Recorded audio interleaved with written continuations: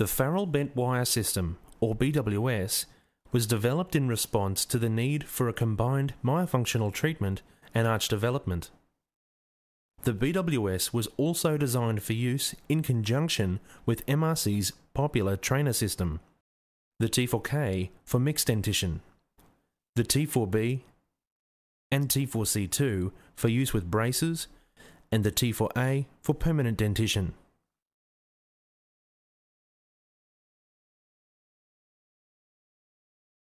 The BWS is composed of commonly used and readily available components.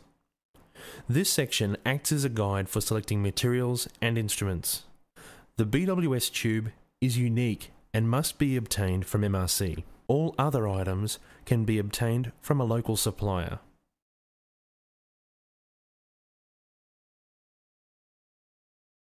Cut off 10 centimeters of 0.7mm stainless steel wire. Mark the center line of the wire.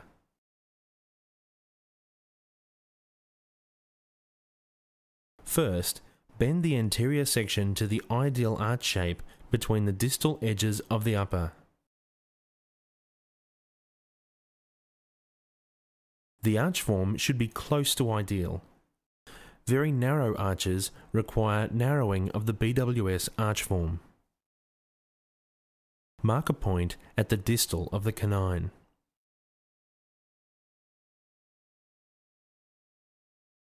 Form an S bend around the premolars or deciduous first molars using hollow jaw pliers. Reverse the pliers to finalize the S bend.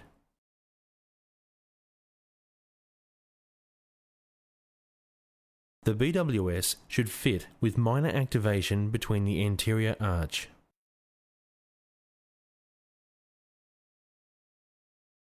Mark a point between the second premolar or second deciduous molar and the first permanent molar. Using loop bending pliers, form a loop 5 to 7 millimeters wide. Ensure the bend is at the correct angle to clear palatal soft tissue. The resulting loop should look like this. Angle the loop to clear soft tissue. 25 degrees upper, 10 degrees for the lower. Note that all bends should be single plane.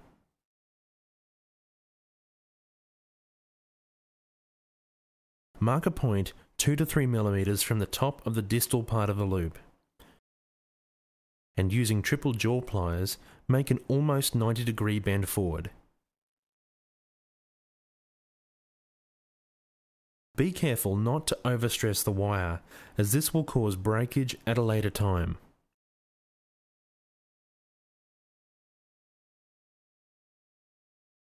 Using bird beak pliers, create a tight 180 degree reverse bend back to the distal. This makes a loop suitable for attaching a ligature.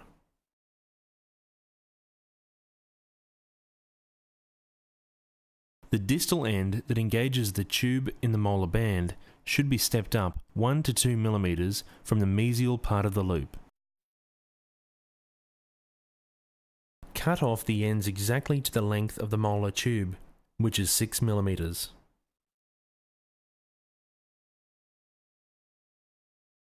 The completed activation loop should look like this.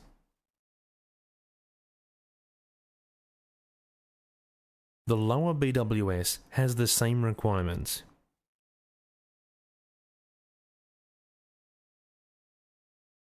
Don't forget to round off the ends.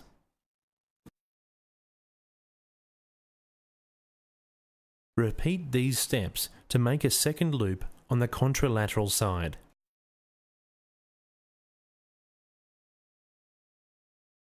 Ensure all bends are in the correct single plane.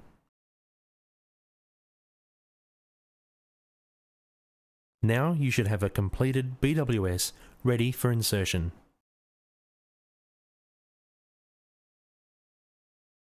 the BWS should approximately fit the model. Since there is variation in the positioning of molar tubes, complete accuracy at this stage is not required. The BWS should conform to the basic arch form.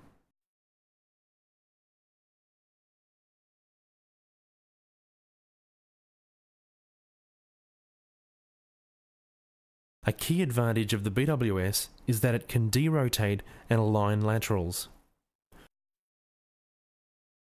Always use a marking pen to position wire bends exactly. Bends positioned around instanding teeth must be highly accurate to ensure effective dental alignment.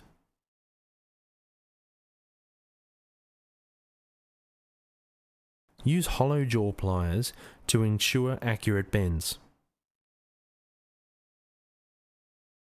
This is how the first stage should look.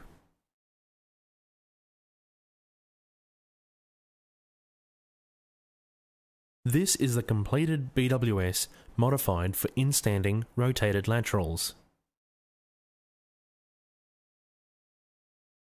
Modifying the Farrell bent wire system, or BWS, to restore lost C-space.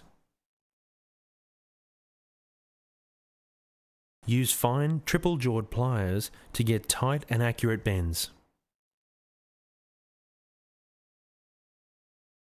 If the positioning becomes incorrect, it is better to start over.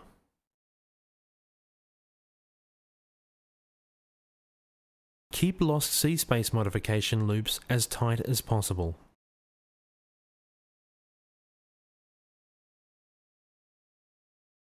Check on the model that the C-space bend is positioned against the lateral.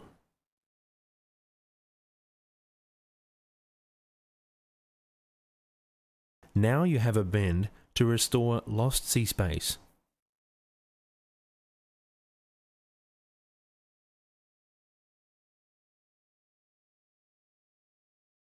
After one week's preparation with separating elastics, select the appropriate size molar band. Ensure the molar band is a very firm fit and not too big because there is considerably more torque exerted on the molar band than for regular arch wire. Weld a Farrell spec tube to the center of the lingual section of the selected band. Alternately, you may use pre-welded bands with the correct BWS tubes. Cement the band in place with glass ionomer cement. Next, place the BWS into the tubes and check for correct fit and activation. Correct the angles of the distal ends so there is no active torque on the molars. There should be no active lateral expansion in the appliance. Intermolar width of the BWS should be the same as at the molar tubes. This is because of the sufficient lateral expansive force exerted once the loops are activated. Check that the loops are clear of the soft tissue. Remove the BWS. Place two Begg premolar brackets in bracket holders with the wire slot positioned towards the gingival direction. Etch the lingual surface of the premolars and bond the Begg brackets with arch wire slot towards the gingival direction. Alternately, a composite ledge can be made on the premolars. This is preferred if the deciduous first molar is present. For extra retention or more force on an instanding anterior tooth, use an anterior Begg bracket, a button or composite on that tooth. The BWS is held in place using a ligature from the distal of the tube to the ligature loop of the wire. Placing ligatures is a skillful job. In the mouth, it is not easy. This is put in place using mosquito forceps. The larger 1.3mm ligatures are best. Effectively, the result is that you guarantee the BWS stays in, and you increase the depression of the upper anteriors. Activation at the loops should be no more than 1 mm initially, then subsequently 1 to 2 millimeters every 3 to 4 weeks. Check for any irritation, and in particular, anywhere the BWS encroaches on the soft tissue.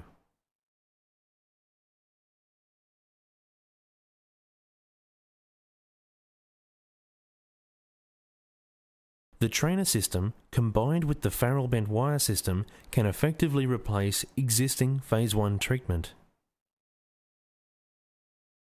This dual treatment approach gives substantial arch development with very light forces provided by a simple and inexpensive fixed appliance. The Farrell bent wire system can be combined with fixed brackets in seamless integration with the T4B or trainer for braces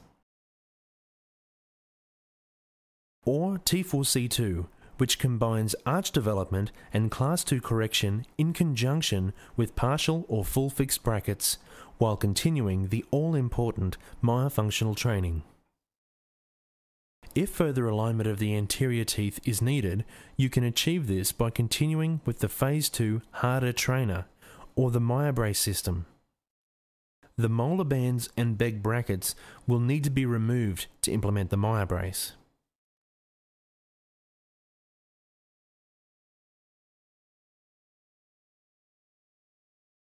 Always ensure that the trainer is worn daily in conjunction with the BWS program. The trainer must be used one hour a day plus overnight while sleeping. If the patient does not use the trainer for a minimum of one hour daily plus overnight, decrease or stop adjustment at each visit, or remove the BWS for a period of time. Because it has no visual or speech problems, patient acceptance of this appliance is generally good. You will notice for the first few weeks of treatment there isn't a lot of movement. After this initial period, tooth movement tends to progress more rapidly.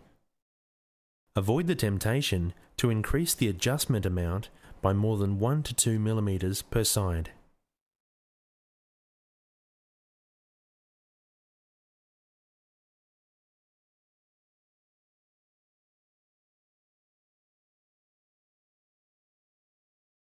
Class 2 correction. These cases often require extractions, but this is now no longer necessary. Although it is better to start early, space loss can be gained with the BWS even at this late stage. Here, the patient is issued with a T4C2. You must have a trainer in place, otherwise, the treatment will not work. The BWS introduces light forces, and the trainer system provides myofunctional correction. The BWS is introduced for lower arch development after three months. You only need 1.7 grams to move an anterior tooth. The lower lip exerts 100 to 300 grams. And the tongue is capable of exerting up to 500 grams. Now you see finished arch development with the use of the BWS.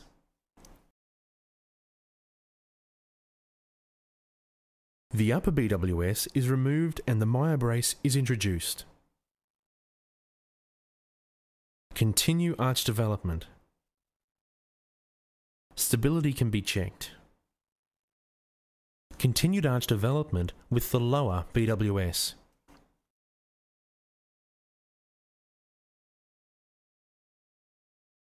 Look at the development rather than the alignment at this stage.